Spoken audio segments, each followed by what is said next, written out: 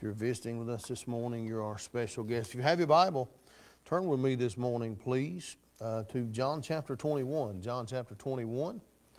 And uh, we'll be looking there this morning. And then don't forget tonight, if you're able to be back with us, we start our prayer time at 445 and be back through the life of David. John chapter 21, our reading will probably be lengthy this morning, but I, I, promise you the Lord shared something with me that I think will be beneficial for all of us. Amen?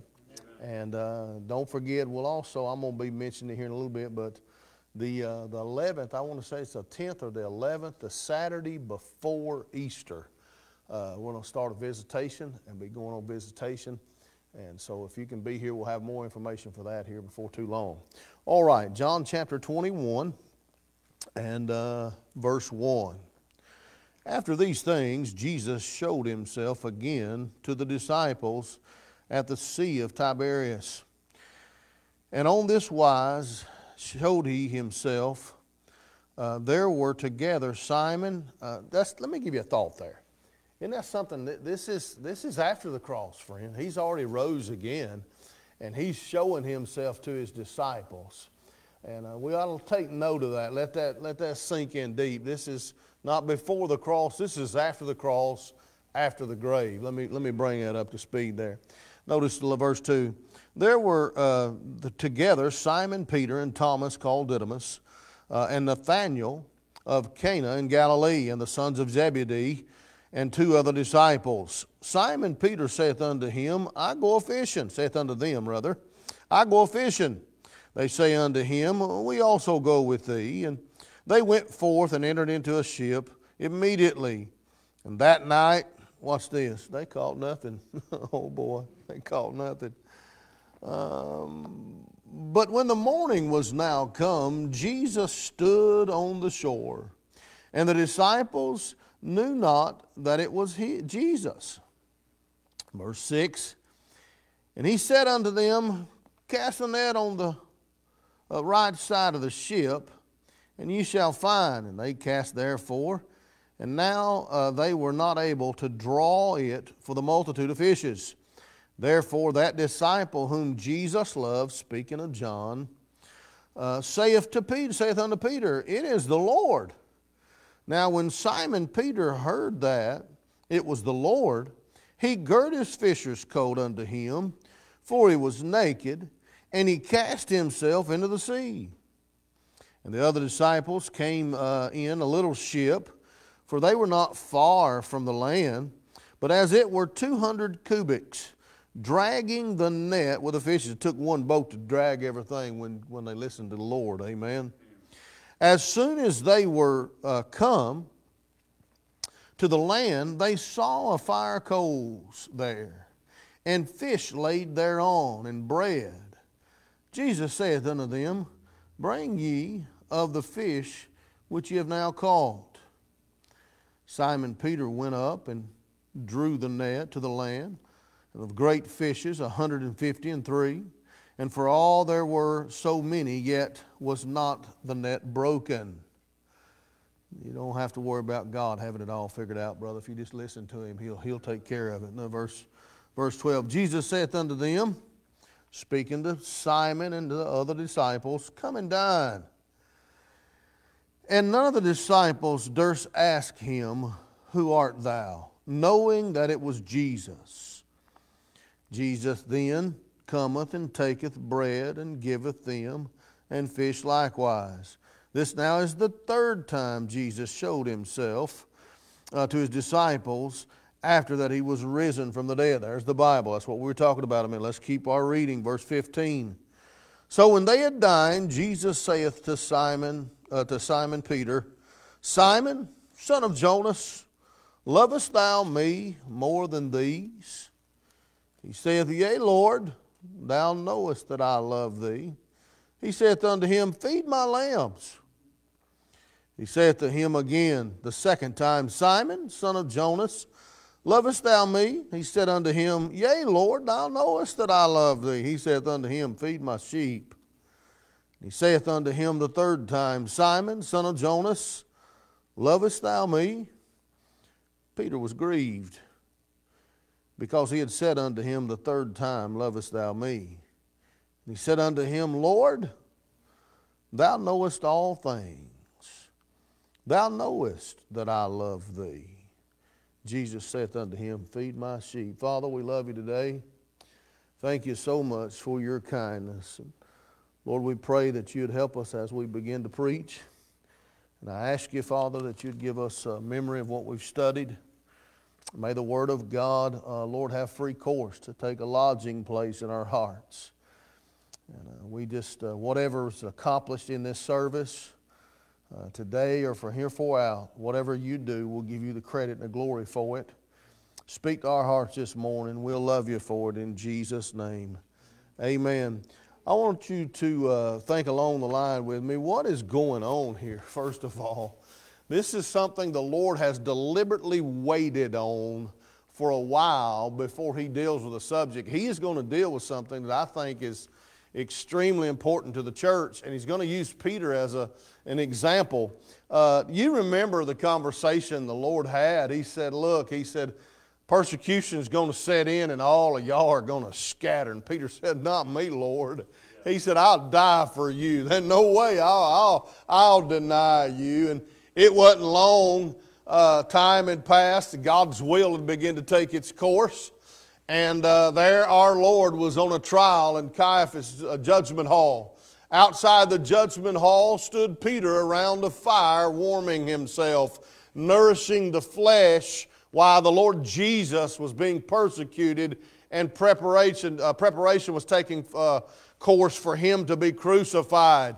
And while he was in the room being judged, it was put on trial. Actually, it was an illegal trial according to tradition in the Word of God.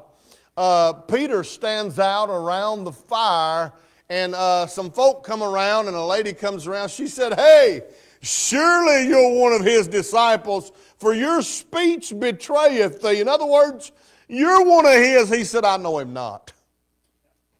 And the Bible said Peter began to curse and to mock.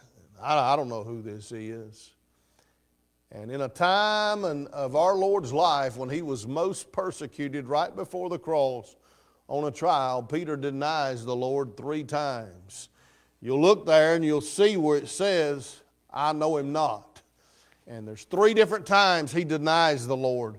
Well, not as though the Lord wants to uh, put Peter in his place, he's wanting to help Peter.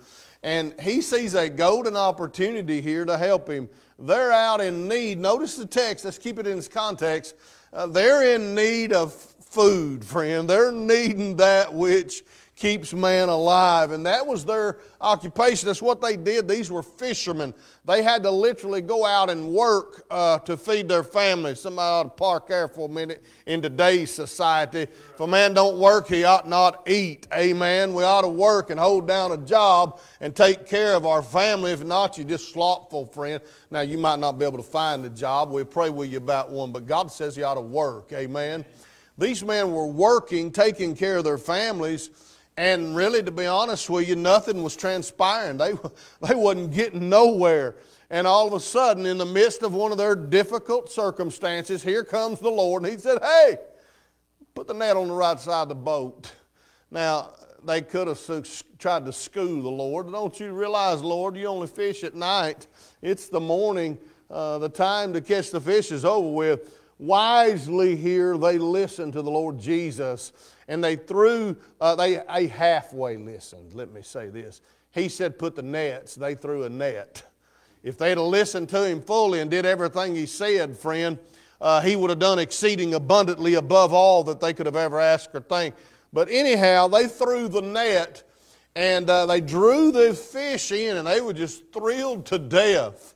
And I want to draw your attention to a few things because I want to trace back where Peter began to decline in John 3, uh, 13, rather, in John 13. Uh, when, when, when this transpires, I don't know about you, but I really believe if I'd have been around the Lord as much as I was, as they were, and the, seeing the miracles from Lazarus to the mm, uh, miracle where the Lord turned the water into wine. By the way, that's not fermented wine. Malk, uh, wine is a mocker, strong drink is raging, and whosoever is deceived thereby is not wise. Somebody said, a little alcohol won't hurt you, better read your Bible. God said you're foolish to drink alcohol. Amen? So they had seen these miracles. And so I honestly believe that if I'd saw these miracles and uh, a one just took place when I'd been laboring all night long, and now I listened to somebody, they didn't even know who he was. They didn't know it was the Lord. We're talking about the disciples. They didn't even know it was him. And, and you and I talk about God's will. Well, God said this and God said that. Let me ask you something, friend. Let me tell you something. I'll never forget this. Doc Robinson said this. He said, uh, when you want to talk about God said, you know, I, I, got my problems with these people that God told me. Well, where'd God tell you? Well, I was riding down the road and a transfer truck went by. God revealed His will to me that way. You've been eating too many green onions, is what your problem is. Amen. When God open, God open, when you open this book, God opens His mouth. And when you shut this book, God shuts his mouth. God's not speaking into. Now, can God imply things? Can God reveal things? Absolutely, friend. God speaks through the book, not a dream or a tingling sensation. You just felt like God wanted you. Hey, I got my problem. People tell me God said. Well, where'd God say it at? What chapter is it in? What verse is it in? You say you put that much authority on the scriptures? Yes, sir, I do.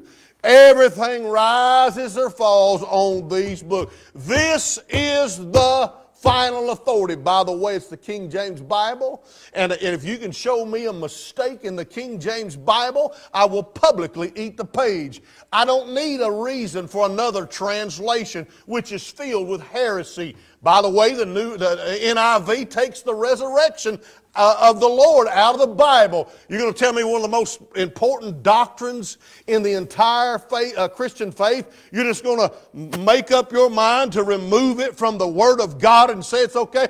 I got my problem with these other perversions. And that's what they are. You st- we need to stick to the Bible God has used in this land to br- show me one real revival where they've shut the bars down. Men and women have gotten saved under some NIV book. You're attacking the NIV? You're, yes, sir, I am. It's not of God. How, how in the world are you going to perfect something that God wrote years ago? You're just going to get so educated that you're going to correct all the mistakes of the Lord. No, sir, I'm not. You can swallow that lie if you want to. I'm not going to. There is not a mistake in the King James Bible, friend. But yet we've got so educated with our fine books and our fine buildings and our big, uh, big things. We just want to come in and let everybody know that God made a mistake. Let me tell you something. If I thought God made a mistake, I believe I'd find me another God. I'd find me another God. How, what a way to break people's faith. I don't know why I'm laboring on it, but I'm going to keep running on it. I know the Lord will. Hey, look, it started, it started in Genesis. The very first thing the devil did was attack the Word of God. Half God said? He'd been doing it all these years. Well, let me tell you something. This book is real. We don't need another perversion. What about the New King James, preacher? Take it out of your house too.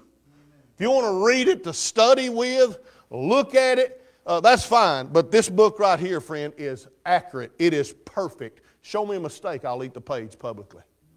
Nobody's ever been able to show me a mistake. You bring me any one of them I mentioned, I'll show you where they feel with mistakes.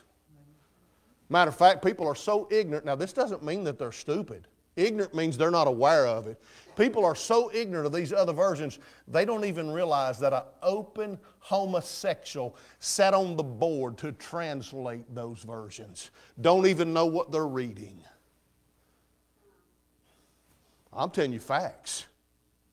I'm giving you facts. I'm not making up this stuff. You can find everything I've, I, I just said, documentate, documentation. Back it up. Stick with it. Hey, let me tell you something. Don't bring no other version around here. No, sir. I mean, from the children's literature to whatever, it needs to be the Word of God, the King James Bible. Because I'm going to tell you something God uses His Word to reach man. There's no, there's no philosophy that I had or fluent speech that I have that can help man. Now, God may use those talents and those gifts, but it is the Word of God Jesus uses to reach mankind. I don't have the mentality or the, or the ability like this book does. Peter comes out, and I'll tell you what he did. He had denied the Lord, and when he did deny the Lord, uh, the Lord lets it go. And he said, Although all men will deny thee, not me, Lord, I'm going to follow you wherever you go. God called his bluff. God brought him right down to the foot of the cross, but had him right there at the cross, friend. Had him right here on the trial, and he wouldn't stand for God. You know what? That's the problem in the church today. We got a lot of coward men. I mean, they can, they can lift weights and do all this big thing, but they can't stand for God. Can't get faithful. Listen to this text. Uh, Paul said in Hebrews chapter 10, verse 25, not forsaking the assembling of ourselves together, as the manner of some is, but exhorting one another, and so much the more as you see the day approach. You know what that means? God says that we ought to encourage one another being in the house of God. And that's what a real man is. A real dad is somebody that brings his children to the house of God rather than go, let's go fishing, son. It's Sunday. Shame on you. You don't have to like me. I'm not here to make you like me. Amen. I'm here to preach the book. How about grabbing your son or your daughter, your family by the, by the hand and saying, hey, let's go into the house of God. Let's go to church today. Amen. Let's see what God have for us. Amen. Lord does some things. Peter denied the Lord openly three times. I know him not, is what he said. Well, the Lord comes out, and all of a sudden, y'all gonna have, we're never gonna get out of here. If I, I'll, I'll give you the references. John 13 is what I'm referring to. There was a time the Lord was trying to tell the disciples something. They wasn't listening. They wasn't listening. Much like you and I sometimes. We're deaf to the ear to the will of God. I didn't say all the time, I said sometimes. The Lord's got them in the upper room and He's telling them somebody's going to betray me. And if you study the Last Supper, you'll find out that Peter and John are sitting very closely. And Peter leans over and he asks John, he says, lean over and ask him who it is that's going to betray him. Now, I don't know about you, but I don't read nowhere that I got to lean over to my brother to ask my brother to find out something for God for me. God said He's not a respecter of person. Uh, he said that we can all come boldly to the throne of grace, that we may obtain help and find grace to help in a time of need. I don't, now look, it's okay to pray, bear you one another's burdens, but you want to know something. If I need something, I need to know something in my life about God. I'm not going to Greg and saying, hey, can you talk to the Lord for me and find out what He needs me to do? Well, how about you talking to the Lord? I believe everybody's got the opportunity to talk to the Lord. Well, watch what Peter did. There was something that Peter did in his life that caused a decline in his life. He leaned over at the, at the Last Supper and he asked John to ask the Lord something. And that stuck out to me. What is the problem here? Why can't you talk to, to the Lord, Peter? Well, I promise you, here's what it is if you go back in John 13, you study it. When the Lord was under persecution, Peter followed afar off. See, that's a lot of people's problem. Follow afar off. In other words, I, I, I don't want God completely out of my life. I, I want Him there, but I want God there on my terms. I want God there when I need Him. And so that's how it started with Peter he started falling afar off. Just a little bit, you know, just a little miss here and there. And when it came down to a, a, an important time for God to do something in his life, Peter was so far away from the Lord that he had to go to his brother in Christ, to John, to find out some important information. You can find all that in John 13. But yet, he spoke up with a braggadocious tone and said, I'll never deny thee. I'll never deny you, Lord. I'll never backslide on not me, maybe all these guys, but not me. So, you know what the Lord did? He just let him go his way. The Lord said, okay. He comes to him and he tells him, he said, hey, uh, Satan hath sought to sift thee as wheat. Watch this. But I have prayed for thee that thy faith fail not. Now, what the Lord meant there was this you're going to be sifted, you're going to be tempted. You open your mouth too much. That's what he's saying. And you're going to go through some hard times, but my prayer is that your faith doesn't fail. Well, lo and behold, you know, why won't we just listen to God? Why we got to argue with God? I mean, I'm sitting back and scratching my head. I've been preaching 30 something years. And it'd be one thing if I sit you down and said, Now, Paul, this is my opinion. But if I sit you down and showed you in the Word of God where God says, Thou shalt not kill, and you're going to argue with me about abortion, you're stubborn as the day is long. I didn't say it, God did. Amen. Why won't people listen to God? Well, here's the thing. The Lord said, Peter, He said, I'm going to pray your faith fail not. Well, here's what happened. Peter got uncomfortable because Peter wasn't getting his way. And he started just a little bit of time, falling back, falling back, falling back, to the where the scripture says he had followed him afar off. Now, don't you get too far me, Lord. I don't want to lose you. I love you. You hypocrite. You love God. Let me see you t- do something.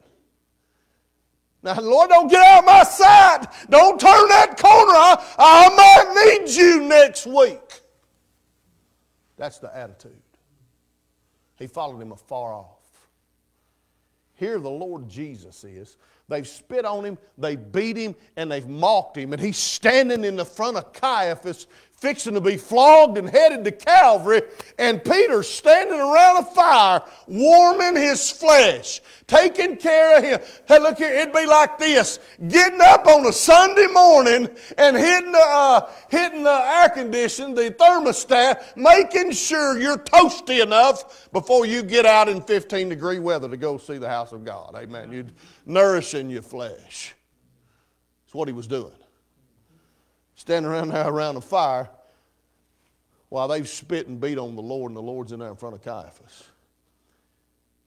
And God allows him to go through these things. This woman comes to him. I'll be honest with you. You guys, you can get mad at me all you want.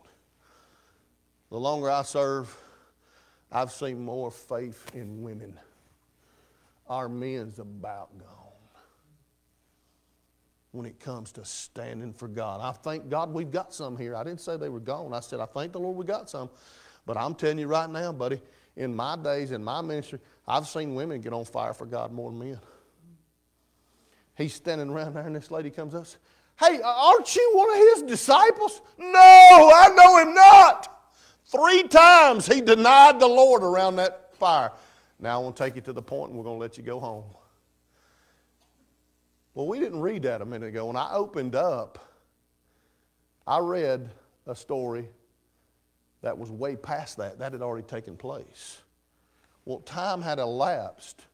The Lord had already left Caiaphas. He had already been spit on. He had already been mocked. He had already been flogged. He had already been crucified. He had raised. He rose from the dead, and he was uh, sitting at the th- right hand of the throne of God. But one last time, the third time, he's going to show himself to the disciples.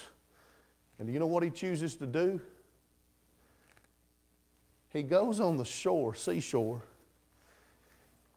in a time of need when they can't catch a fish for nothing, when they're about to starve to death, if you want the honest truth, it's bad times.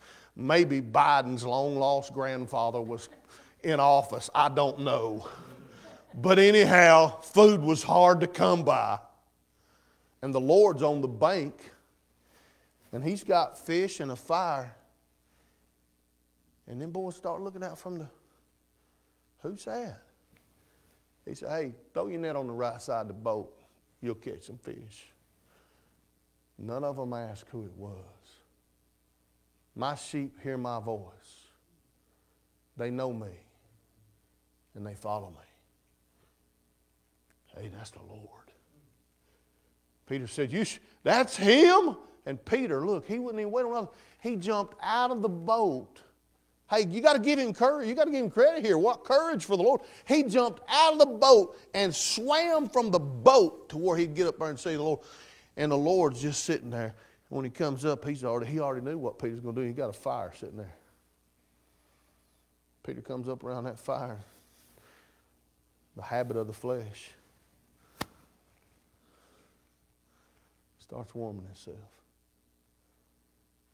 And between Peter and the Lord is a fire. Now, some of you think you know where exactly where I'm going. You don't. You know part of it. That fire is a picture of judgment. And between the Lord and Peter is the Lord sending a picture of judgment. Peter,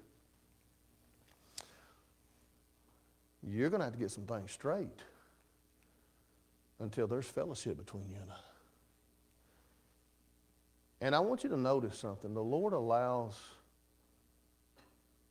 it's almost like the others are there when He's talking to Peter after a few minutes. Because He said more than these. Wouldn't you think if they'd have been on the boat, He would have said more than those?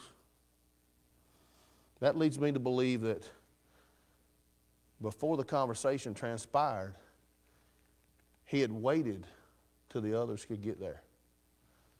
Because he said, you remember what he said, Marty? He said, Come and dine. Come and dine, the Master calleth, come and dine. You may feast at Jesus' table any time. He who fed the multitude turned the water into wine. Said, Come and dine. They've been out there, they're hungry, they're tired, and they all get around the Lord. Can I promise you something? The Lord don't forget anything you and I do on a good and a, and, and, a, and a negative sense. You ever thought, you ever forgot anything? I forgot. Have you ever forgot something for, uh, important to do? You had something important you forgot? Never happened to God. It's never happened to him. The Lord is drawing him in, buddy, and he is fixing to do internal surgery on him. He pulls him to that fire with those other disciples. And the Lord looks at Peter and I. He said, Simon, son of Jonas, lovest thou me? Yea, Lord. Simon, son of Jonas, lovest thou me? He asked him three times. The third time, Peter dropped his head, the Word of God said, grieved. And he finally, listened to me, he finally learned most important lesson in his entire life. It took pain and embarrassment and heartache, but he looked up Vicky and you know what he said to the Lord? Thou knowest. Lord, you know right where I'm at. You know. What are you asking me for? I personally believe the saddest words that can be asked to a Christian is, Lovest thou me? He said, Do you love me, Peter? Yea, Lord. Now, watch what he tells him. He said, uh, If you love me, feed my lambs. What's he talking about? Well, we're sheep, right? Sheep are, it leads me, gives me the impression that sheep are, they might not be a full age, but they're a little older than a lamb. Would everybody agree with that? Yeah. yeah.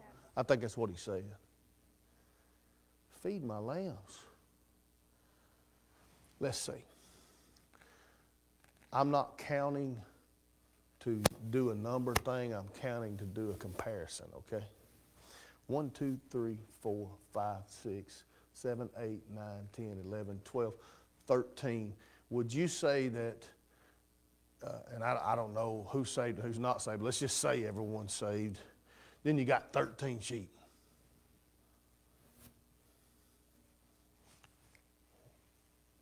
Two lambs. Isn't that how y'all see it? Mm-hmm. 13 sheep and two lambs. If you love me, you'll feed my lambs. Oh, what's he saying? He said, boy, you better get busy bringing the lambs in. You better bring the lambs in. Where they at? What do you mean, Brother Chris? I'm telling you right now, God stirred my soul over these children more than I've ever had in my entire ministry. You're going to see me on visitation on Saturdays. You, if you want to take a Bible and sow in, I'm going to hit you on the back of that uh, and commend you and, and tell you I appreciate you. You can sit there all day, but you know what? I'm fixing to canvas this area like you've never had it canvassed before. There's going to be more literature hung out, and you can get involved in it or not. You can sit home in the thermostat on a cool spring morning and nourish your flesh if you want. You can do that. But I'm ready to go out to some of these little lambs. Don't question me when it starts. Don't do it. Please don't do it. I've sit how long? I ain't sitting no more. We're going, I'm delving in, or we're going to do something for God. Something's going to happen. Amen. It's time. It's time, Chuck, to find the lambs. Where's the little lambs at? They at? Now, they come in all ages. They come from nursery to teens they're in all ages. I can tell you what it's going to take. If you want to love God, here's what it's going to take. and that's what he's talking about. He's testing his love. He said, if you, Simon, son of Jonas, lovest thou me more than these? Yea, Lord, you know I love you. Boy, the thought there is this you just need to come and I need to come to conclusion. God knows everything about what's in my heart. He knows it all. Don't try to stand up and convince God in front of other people public that you love God. Don't tell me how much you love God. Show me you love God. I'm tired of seeing. Actions speak loud. I'm tired of hearing a bunch of stuff. Show me something. What's that date, Marty? The 10th, is it? March 9th or April 9th, what is it? April the 9th is the Sunday, is the Saturday before Easter. So the 9th, and then you got the 16th, I believe it is, or 17th is Easter. Is that correct? Y'all correct me. Anyway, that Saturday before, how many weeks is that away? Four? You got four weeks to mark her off. Four weeks. Well, so and so come in from out. So what? Let them sit at the house a couple hours. Let's go lamb hunting. Well, I'll burn the roast, cut it off, and slide it across the counter and unplug it and plug her back in when you get home. Amen. Be all right.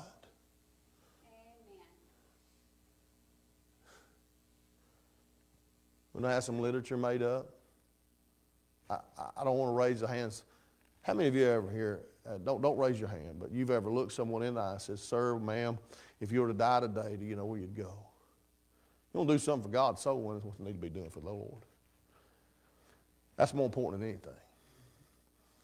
That's almost history in the church today. I mean, it is. It's almost, it's almost, uh, people don't want to talk about it. Talk to somebody about their sin. Talk to somebody about their soul. Talk to somebody about if they die, where they're going. Are you kidding me? He covered that. He said, Feed my lamb, feed my sheep.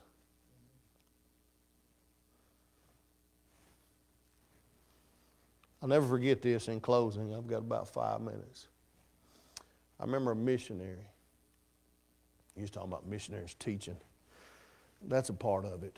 Uh, but uh, their job is to go soul winning around the world, winning people. You ain't got no, you don't win nobody. You ain't gonna be teaching nobody. We're not gonna be winning nobody. You ain't teach. Who you gonna teach? This man came through and he said this, and I know you'll remember it. This was 30 something years ago. The man said, The church that will not evangelize will fossilize.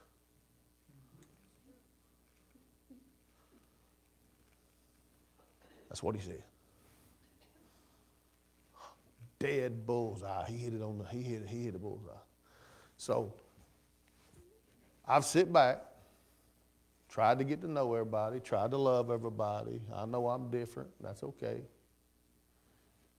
But I, I'm fixing to target the children in this community like you've never seen before in your life. Okay? You got it? Yes. Amen.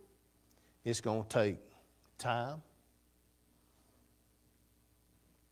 It's going to take dedicated time and dedicated finances. Amen. It is. It's going to cost money. Amen.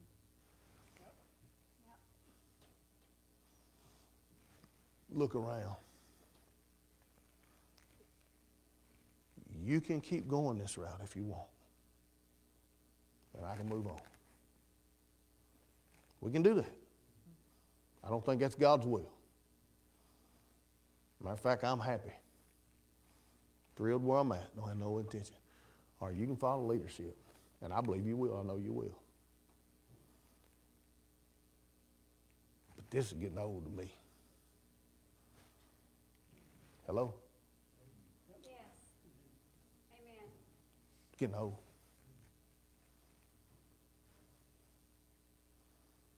It's time to leave some kids around this place. Family wants to get in, amen. We, we, we, family can come in, but I'm telling you right now, they're going, look here, think what you want. It's okay. In my mind, every part of this ministry, here's the ministry, here's the children's ministry. You don't have to agree. You don't have to. If you agree, I appreciate it. We're spinning our wheels, man.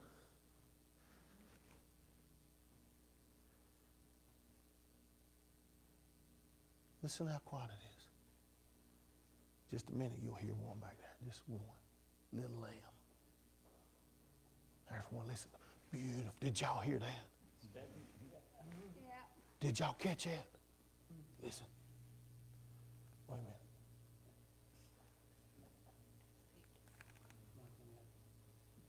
Wasn't that beautiful? Yes. Gotta reach them. Simon, son of Jonas, lovest thou me? Feed my lambs. So here's what we're going to do. I got it figured out. We're going to take most of the money and move it. Praise the Lord, Brother Chris. Bam! Just move it. If you was in the stock market, I'm not saying you are, and you ought not be. It could be gambling.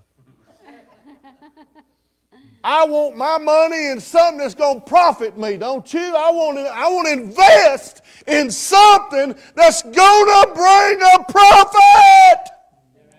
Amen. So I'm fixing to pour my life and money into these kids in this community. Praise the Lord. I am, Amen. with or without you.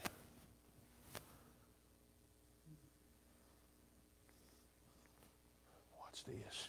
Panic. I'm going to say this, and panic's going all over the room, Vicki. I'm only sharing it with you. I mean, total panic and nervousness when I say this. That means a bus route. Amen.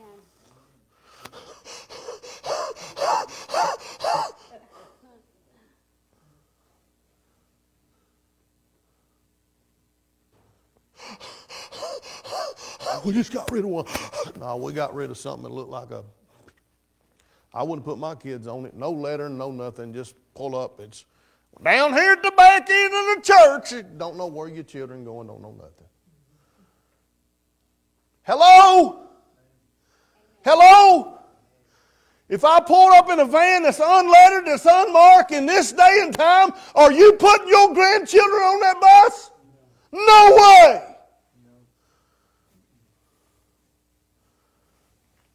Everything decently in order. PR, public recognition. PR. We liable, to, we liable to give heart attacks with a, with a church van running with letters from Heritage Baptist Church in these, in, on these streets. Man, what's going on up yonder? They got a church van. They running a bus route. Then people lost their mind.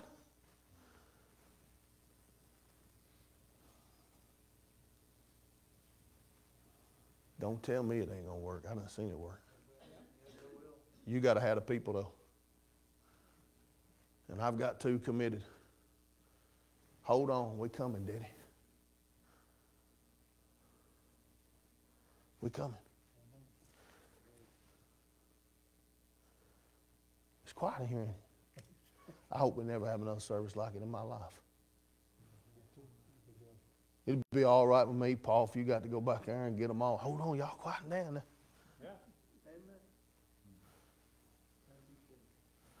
Suffer the little children to come unto me. Such is the kingdom of God.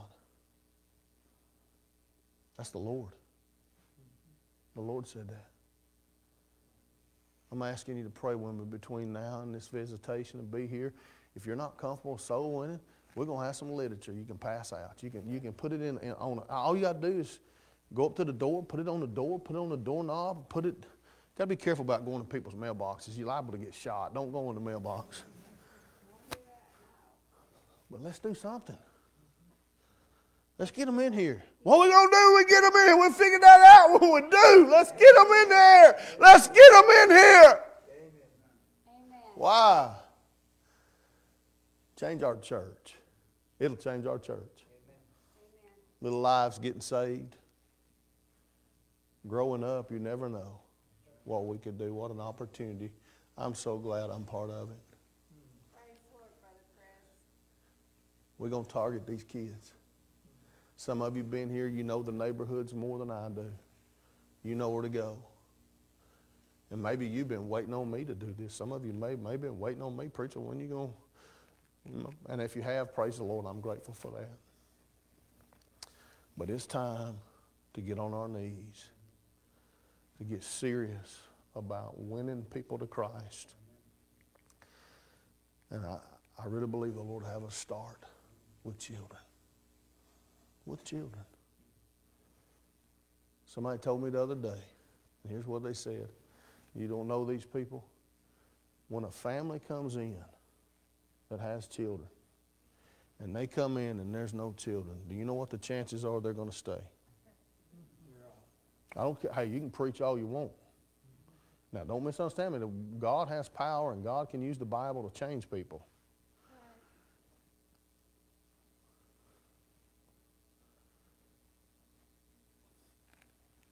You don't buy a house unless it's attractive, friend, unless it has a pull to it. You don't commit yourself somewhere unless you want to commit yourself somewhere. And I personally believe that God is wanting to change this church through a children's ministry. I know I'm going to be criticized. I don't really care, Chuck. I really don't. I mean, a lot of guys are building their churches with singing. You know, taking the platforms out, moving it out, having the stage and the stro- strobe light. Why can't I just do it for children?